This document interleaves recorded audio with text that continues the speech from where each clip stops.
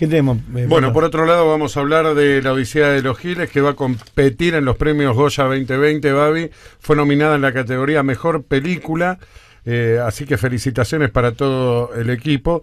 Ahí va a estar presentándose Ricardo Darín, Verónica Ginás, el chiquito Darín, este, La Odisea de los ¿La Giles. viste la película? Con- sí, con ¿Te Sebastián? Bornstein. Sí, me gustó. No, no, a ver, eh, no- es una película en donde serio? trabajan siete actores. ¿La viste en Sí, serio? Sí, sí. La vi. ¿Qué, qué te pareció? A mí me parece un embole. Por momentos me pareció lenta. Es una historia que ya conocemos, fragmentos de lo que pasó en el 2001, no tiene absolutamente nada que ver con ese reflejo, si bien está identificada la película.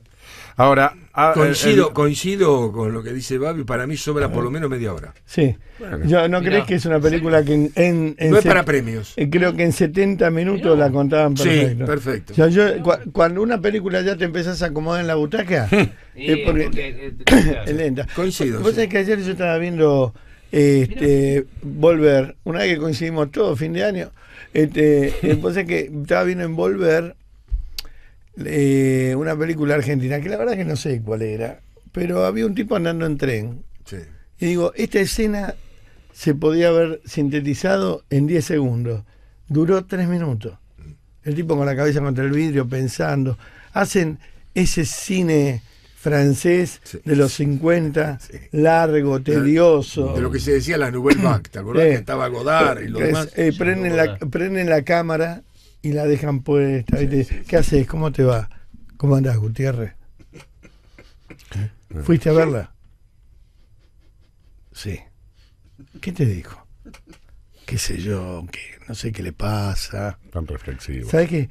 Los diálogos son tan de libro, tan aburridos, tan históricos, tan prehistóricos, que el cine argentino, yo no sé si es para darle la manija que le han dado. Bueno, fue la película más vista del año. Sí, sí, eh, todo bien. Pero eh, vos podés ver eh, la va, película. por, va por estadística y resultado O sea, más que por digo, análisis yo, yo te hago con ese cinematográfico. cualquier ¿sabes? película y te digo, no, la Odisea de los Giles, una obra- ah, la verdad a mí me aburrió, me aburrió muchísimo. No tuvo, no te hace entrar ni en la historia. Por momentos se pone ¿Sabes lenta qué y por momentos se pone muy dinámica, es la ¿Sabés verdad por- también. ¿Sabés por qué fue a verla mucha gente también? Porque mucha gente se sintió identificada porque fue estafada de la Sí. misma manera. Aparte Está de los bien. actores. Fueron Claro, y además estafados. los actores, pero- y los pero- actores son Pero extraordinarios. querés que te cuente, no se nota la estafa. Eh. Porque hay muchos estafados para pocos estafadores. Sí, es cierto. no hay una trama de estafadores. No, no es un país, es Eh, un pueblo. Es, no, es 2 por 2 4 ¿viste? ahí está el Garca. Entonces, sinceramente, me pare- eh, con todo respeto, Mm. no me gustó para nada. La verdad, me- yo fui con una expectativa y, me- y terminé acomodándome la butaca y llegó un momento que es un poquito larga. ¿no? Este, no, no, ¿qué, no fue qué eso fue que vi uno la dice. pasada? Eso es típico, cuando uno encuentra la posición en la butaca. ¿Viste cuando ya empezaba a subir la bajada? Está distrayéndote con otra cosa. Eh, eh, eh, yo honestamente no me gustó, Mirá, para nada. mirá, la vez mirá. pasada no sé qué película fue que también fui a ver y ya cuando te mirás con el al lado decís, larga, ¿no? Eh, ¿cómo se- Sí, sí. Bueno, también hablando de esto, la de Robert De Niro, el, Larga. eh, ¿cómo se El llama? irlandés. El irlandés, después de la primera media hora eh, cambiás. Pues decir, bueno, flaco, arranquen. Hay un montón de hechos que no deberían estar, Claro, que se están de más. No sé que hay un problema. Cuando te quedas en el cine explicando, ¿no? Que es muy argentino eso. Sí. El argentino no lo explica con acciones, lo explica con tiempos. Por ejemplo, eh, te tiene que poner el agua mineral dentro del vaso y tardan 20 minutos. Y el norteamericano este, Scorsese, eh, destapa la botella, la pone, te enfocan el dedo, agarra la taza. O sea, digo, eh, eh, pierden mucho tiempo en, en- A mí me gusta mucho más el cine comercial. El cine que dice 2 por 2 4 Inclusive vos fíjate que se discute mucho esto del cine. En la Argentina, y siempre se le ha pegado a Enrique Carreras, que terminaba sus escenas mirando el cielo para empalmar directo en otro cielo y bajar, que era un recurso de lo más berreta. Pero ha hecho películas antológicas, como los muchachos de antes no usaban gomina, por ejemplo, que son unas historias, hasta las mismas películas de Parito Ortega, que son 2 por 2 4 tenés humor, tenés, te, te reís, llorás, y te deja una enseñanza. No sé, este es un buen tema para tocar. No sé de dónde salió que Sandro era grasa y que Cacho Castaña era grasa cuando se transformaron de culto. Y no sé de dónde salió que Enrique Carrera era un simplista y que de golpe Leonardo Fabio era bárbaro. Leonardo Fabio empalmaba como un hacha. La, la iluminación era horrible. La- los cuentos eran el aniceto y la más aburrido de chupar un clavo. Pero eh, eh, esto es igual que Pasolini. La gente entraba a ver Teorema Sí. de Pasolini y decía, no, maravilloso, la verdad me parece una mierda. No, no entendíamos No nada, entendí igual. nada, me aburrí, me parece una cagada. Cuando vos veías el último día de Sodoma y Gomorra, era escatológica, asquerosa, los cuentos de Canterbury, asqueroso, eran eh, todo pornográfico. Entonces, pero no, no, porque el- el- el- la historia de Pasolini tiene un subtítulo. bah, No, decime, yo a mí me llevas, me sentás en una butaca y es como dicen los yankees. Vos querés ver un tipo verde, te muestro el increíble Hulk. Y que rompa todo además. Y si es posible, eh, que se ponga a mear y le ve que tiene una chota verde de dos metros. Porque es lo que vos vas a comprar, un tipo verde. No te hacen que el tipo verde vivía este, en Italia atrás de una piedra y que venían los duendes y le decían que tenía que ser verde. Por eso yo creo que el cine tiene que ser directo. Vos tenés una hora y media para contar una historia. Pero la historia, que es un poco el secreto de los monólogos, la historia es cómo la contás, saber contarla, lo sabroso que hacía la Andricina, lo sabroso de la historia, El final. el, final. la verdad que el cine argentino deja bastante que desear en eso. Y son pocas las películas del cine argentino que son buenas. Lo que pasa es que, como está de moda hoy en el mundo, el cine, como estuvo en un momento el cine español, como está de- como en los 60 estaba el cine italiano. Sí, francés, el neorrealismo italiano después el francés. No, no, bueno, pero el cine, el cine de, de, de, eh, ¿cómo se llama este? La Dolce Vita, de, Eh, de Pasolini, de, Fellini. de Fellini. De Fellini. Eh, de- pero realmente a mí me aburren las películas argentinas. Son muy pocas la- las películas argentinas que me divierten, ¿no? Mm. Yo, por ejemplo, vi El cuento de la comadreja, que es muy buena película. Eh, es una adaptación de lo que fue. Los muchachos antes no usaban arsénico, y las dos versiones son buenas. Pero hay películas que, que me aburren mucho, sinceramente. Eh, una de ¿Vos sabés? Mirá, yo te voy a contar. A ver, yo era muy cinéfilo allá en la década del 60 y 70. Íbamos a ver películas en el Lorraine. Veníamos de la facultad, salíamos. Entonces había películas que no las entendíamos bien, pero nadie se animaba a decirlo. Claro. Porque si no, que era, era que. Cuando yo salí de no ver. más cuando, cuando yo salí de ver Teorema, me preguntaron a la salida, vi una encuesta que me pareció y dije una mierda. Y todos los de alrededor me miraban como diciendo, qué ordinario, qué no berreta". entendió nada. Y yo le hubiera preguntado a los 10 que me dijeron que, eh, a ver qué vieron ustedes. Si lo entendieron. Sin embargo, fui a ver Tiburón, que era una mierda, Sí. y me divertí como un loco y aplaudí al final. O sea que si yo voy al cine voy a ver algo que me guste. Bueno, es como todo lo del arte, es subjetivo a quien lo mira. Es muy En- personal. En, Teorema hay una mucama que come ortiga y vuela. Sí. ¿Vos lo viste? Sí. Eh, y es más probable que un tiburón me coma a que mi mucama coma ortiga y vuele. Entonces, a, el- a mí no, no, no, no, no me va el- La el- fantasía. la fanta- no, me va la fantasía cuando decís, mirá que esto es la guerra de las galaxias.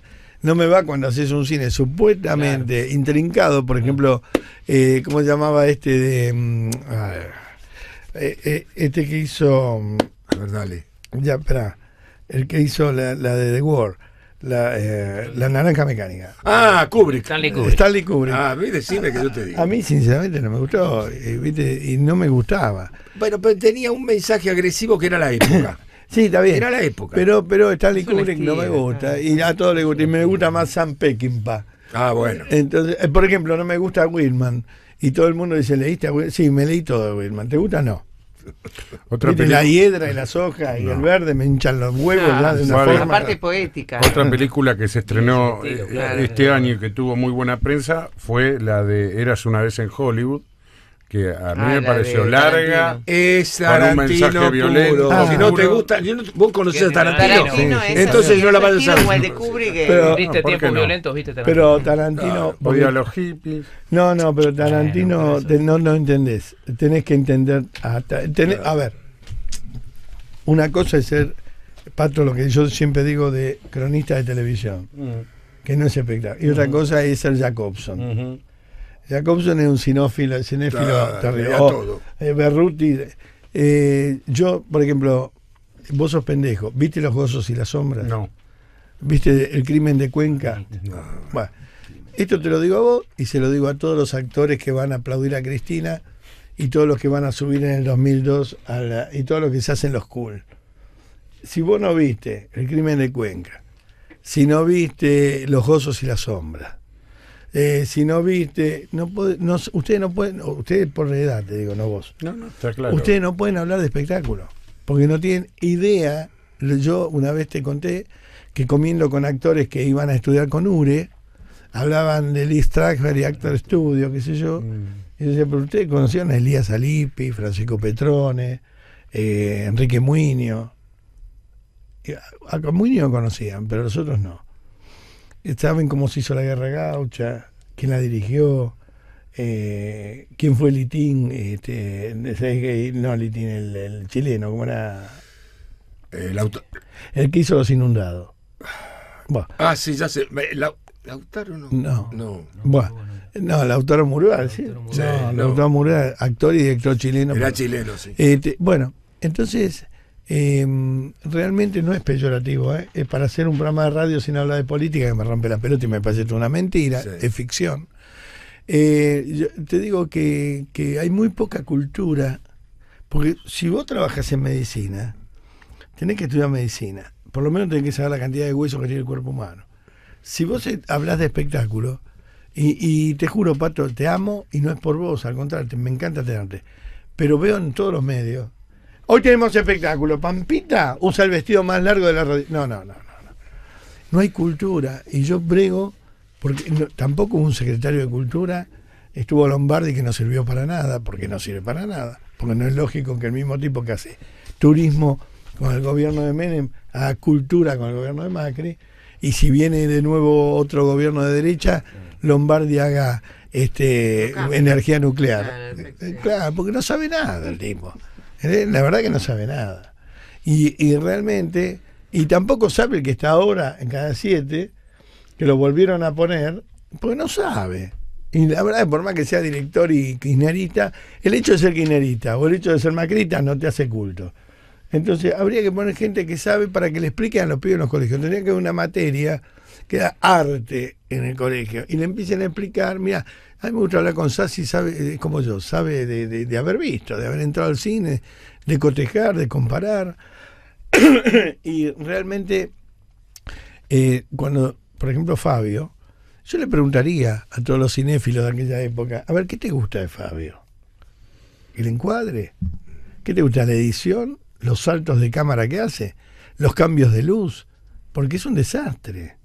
Parece un documentalista.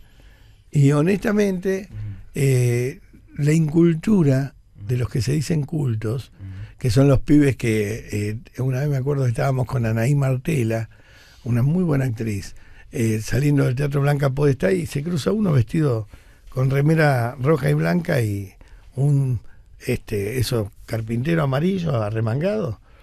Este, una cosa. Y dice, vengan a verme al under, hago mi primer desnudo.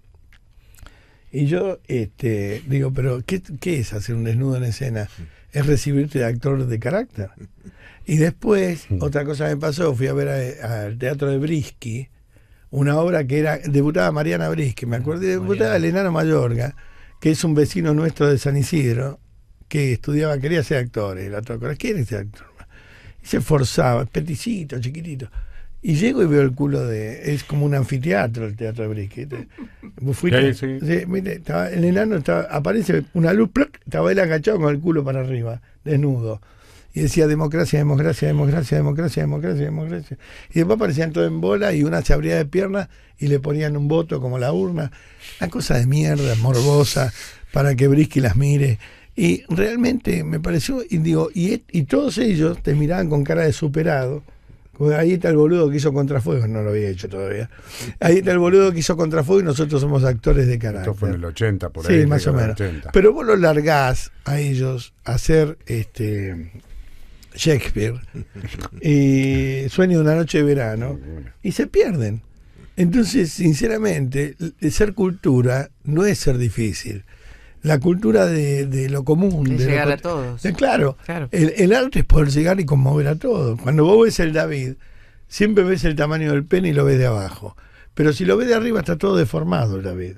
Que la, el- el- la, la escultura es eso, que es una masa de, de que lo- bien lo dijo el escultor, es agarrar un cacho de mármol y sacar lo que no sirve. Mm. Arriba es un deforme en la vida. Pero si lo ves en perspectiva desde donde lo ves desde abajo, es perfecto. O sea, que hay que saber ver el arte. Por ejemplo, yo este año fui a ver, este, mm, eh, fui al Museo de la Reina de España y me aburrí. Pero en la, en la, en la segunda sala ya La re- dormí. la Reina dormía. Sofía. Sí. Ah, sí. Me dormía, me pareció tedioso, largo. Entonces en un momento me dice, vamos a ver el, eh, el- espera, el, el Guernica. Y ya parado delante del Guernica, y bueno, ya está, vamos. Y, y te explicaban por los auriculares, ahí uno ve el perro y el colmillo y el dolor y las... Está bien, pero no me conmovió. ¿Es- ¿Te conmueve o no te conmueve? ¿Te gusta o no te gusta? Por ejemplo, en, en la sonrisa de mamá, yo lloré como un loco, era una mierda. O en los muchachos de mi barrio, lloré como un loco, era una mierda. Pero me identifican con mi barrio, mi novia, mis Y amigos. bueno, depende de lo que también uno Eso es buscar. arte. Depende de lo que quieres lo a que te genera en- vos. Y la el- vez yo lo vi con- No es lo mismo a vos que a mí, Claro, porque son distintas épocas. depende de lo que vayas a buscar a un espectáculo. La última vez lo vi con mi mujer al lado y le decía, eso es lo que me pasó a mí. Cuando volvés al barrio, el barrio se cree que por haber, eh, por Y laburar bueno, en radio, te fuiste. Y vos nunca te vas. Y era bárbara la enseñanza. Era. Y sin embargo, por ahí para la, para mucha Para gente. que no vivió en el barrio. Claro, ese te dice, esa es una película comercial. Claro, te dice, Depende una de lo que- grasa, por eso te digo, depende grasa de lo de que- palito. Depende de lo que quieras ir a buscar. Bueno, También qué, qué te toca, qué pero, fibra te toca. pero ¿sabés qué? qué me pasó a mí? Claro. Gente que vive en pisos en Libertador ve esa película y cuando después de un champán le decís, ¿qué opinas del cine de Palito Ortega? Y la verdad me encanta porque es lo que me pasó a mí. Claro. A todos nos pasó. A todos se nos escapó un pedo. O sea, somos todos iguales. Entonces, cuando vos crees que, que sos superior porque sos culturoso y porque andás con un libro de, de, de Kafka, ¿y, y para qué vas a llevar a Kafka si no sabes lo que es un final kafkiano? ¿Y para qué vas a leer a Nietzsche si es imposible leer? No cuando, no cuando vos no sabés sobre el tema, pero tiene que haber para todos, ¿entendés? Tiene que haber. No, pero tenés que enseñar. Una vez un albañil, hace 15 años, me dijo: Me compré el libro de. ¿De quién era? De Nis. Sí, así hablaba Zaratustra. Me compré el libro de Nis. Le digo, pero vos leíste algo de filosofía antes. No, no, pero como vos dijiste que había que leerlo en la pero si radio. no entendés lo que. le digo, no, no, pero no importa. Dije, está bárbaro. Empezá y después Abriste la claro, puerta. claro, sí. empezá. Abriste la puerta. algún lado, Bobby. No importa Saliste, de- saliste del fascículo de deporte. te- Y además seguramente algo te va a llamar la atención y lo vas a buscar en otro Obvio, lado y vas a... Obvio, obvio. Y durante mil años nos hicieron leer la Biblia, que la ambigüedad llevada a la práctica. Donde la Biblia te dice lo que querés escuchar en el momento justo. ¿Entendés? Eh, y, pero no porque sea un oráculo, sino porque adaptaron de tal, fo- de tal forma las palabras que dice, viste, lo dijo la Biblia. Y no, es un juego de palabras que te hace sentir siempre eh, que tenés que rendirle pleitesía a Dios. Entonces Dios dijo, mira, esa que Cristina declarando ahora, Sí, Sí. la vas a tener que sacar con, con una ambulancia. está, ¿eh? está, sí, Está- muy enérgica. Sí, está muy enérgica y me enojada. Vos mirá el grado que llegamos en la Argentina que Cristina caga pedo a los jueces.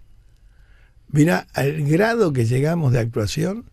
En, en- a ver si a vos te deja un juez hablarle así. No, de ninguna manera. El grado de, de- de irresponsabilidad de la justicia argentina.